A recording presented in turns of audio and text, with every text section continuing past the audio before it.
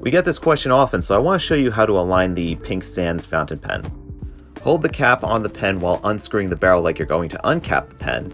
You'll feel a small click when you've reached a new thread. Repeat until the chatoyant sides of the pen are aligned.